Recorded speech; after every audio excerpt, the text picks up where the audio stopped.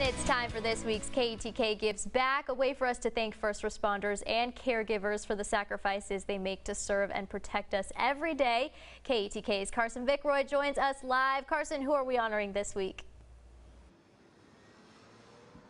Yes, Lauren, we are honoring the Jacksonville Fire Department for this week's edition of KETK Gives Back. Of course, that is all made possible by our friends over at Peter Chevrolet and Peters Auto Sports. So, one of the newer members of the fire department, Cooper Hand, he was, uh, I think, part of his initiation. He had to talk, and he has to be the guy that does the interview. But, you know, Cooper, you've got to know these men and women here over the last, you know, a little bit. How would you describe the rapport you, you all share as a department? Oh, it's definitely like a little old family here. Uh, they took me in a little over six and a half months ago, and it's just been like br uh, big brothers and dads to me. And like Michael back there, he's like a grandfather.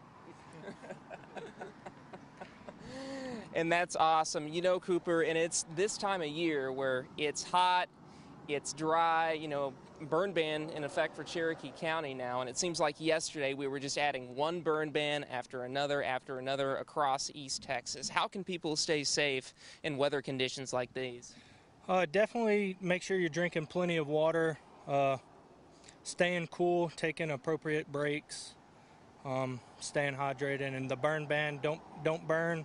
You can see how dry it is. We haven't had rain like we've needed. It's just real dry. So. And what about fireworks? That is coming up here in about, I want to say it's like 11, 12 days away from now. I can't do math for some reason right now, but July 4th weekend is coming up. So what about fireworks? Uh, as much as we want to go out and see the pretty show, I would highly suggest, unless we get a bunch of rain, to just hold off on that. You know, go out and buy your fireworks, but wait until it's a little, little more wet and the grass is greener, because we don't want any fires. It's too hot for that. Yeah, absolutely. You know, I mean, Jacksonville, beautiful community, but, you know, I like to go out, eat my lunch. Um, what would be the best place to do that here in Jacksonville? I know there's a lot of options, a lot of great options out there, but in your opinion? Huh? they've taken me to La Fonda a couple times, and I've liked that. Um, JW's Barbecue, Sadler's, huh. a bunch of hole in the walls. there, there we go, folks. So, I mean, you heard his opinion right here. Uh, and describe to me, that is a very interesting thing you've got on your face right there. What is it with firefighters? I mean, you and those mustaches, what is it? Is that like a rookie thing or what? It's just a look. It's just a look. Got to go with it. Trying to keep the tradition going.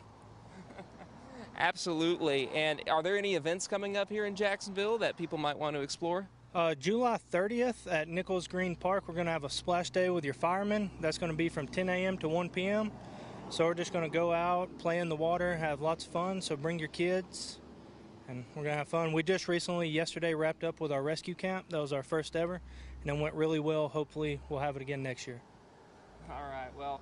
I appreciate your time. We were looking forward to that, but we were also looking forward, you know, to these men and women getting inside, eating their cookies, and of course, this is my favorite time of week as we honor our first responders. And again, you'll have to find out where we are next week for next week's edition of KETK Gives Back, of course, sponsored in part by Peters Chevrolet. Lauren, we'll send it back to you in the studio.